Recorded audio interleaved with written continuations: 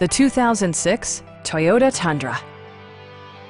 It features an automatic transmission, rear-wheel drive, and a powerful eight-cylinder engine.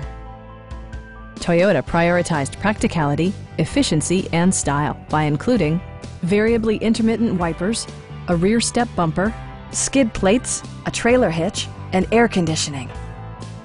Please don't hesitate to give us a call.